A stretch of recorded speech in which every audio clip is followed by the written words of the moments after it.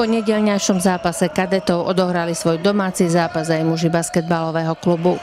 Žiarčania privítali silný celok VŠM Karlovka Bratislava. Zápas bol veľmi vyrovnaný od začiatku až do konca. Dominovali predovšetkým obrany a tak skóre narastalo len pomaly. Prvú štvrtinu prehrali domáci obod 19-20. Zápas pokračoval v podobnom duchu aj v druhej štvrtine.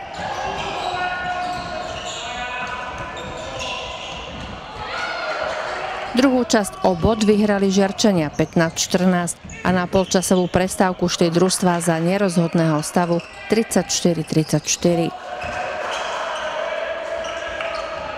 V tretej štvrtine odskočilo raz jedno, raz druhé mužstvo na pár bodov, ale počase bol stav opäť vyrovnaný.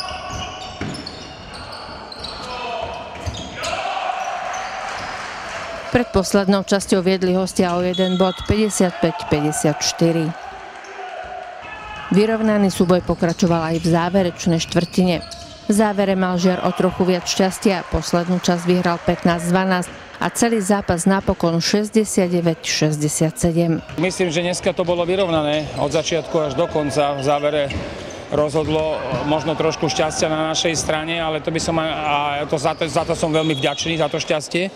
Ale na druhú stranu musím povedať, že my sme v prvej, štvrti, prvej polovičke nedali z perimetra ani jednu trojku ale to sa nám vrátilo na záver zápasu, kde nám popadli dve, tri strely a tie nám veľmi pomohli v tom, aby sme sa o, dostali do vedenia a vlastne v závere, v závere e, sme ten zápas dokázali ukočírovať a vyhrať, čo je veľmi, veľmi dôležité pre nás e, z dlhodobej časti tabulky, ktorá sa vyvíja teraz celkom dobre pre nás, ale ešte nič nie rozhodnuté.